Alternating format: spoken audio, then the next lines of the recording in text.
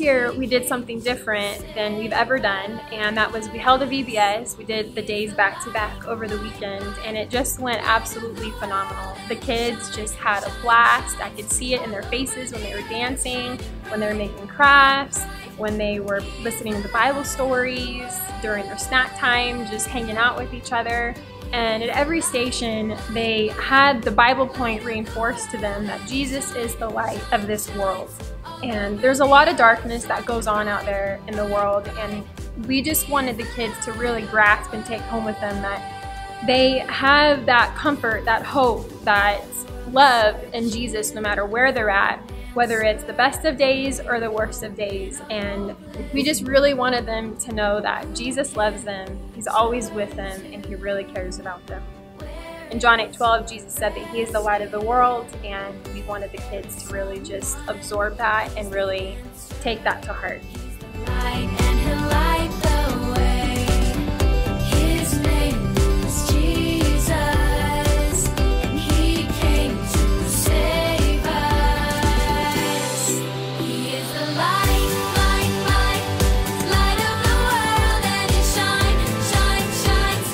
Really, what I really liked about VBS was it like everything together, like the crafts, the worshiping, and I liked learning things and the story time, the Bible time. The crafts was my favorite for sure, and also it was a great experience for me and my little sister.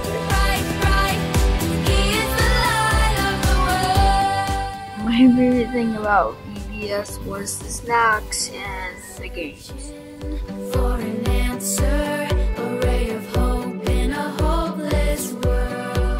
I learned that Jesus is the light.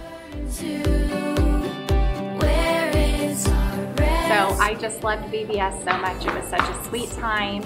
Um, and my favorite part is always just watching the kids worship, worshiping their Savior. Um, it's just so beautiful. So it was such a blessing for us all.